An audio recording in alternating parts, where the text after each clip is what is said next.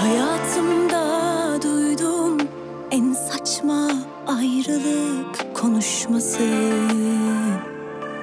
İmkansızdan da imkansız artık ikimizin kavuşması.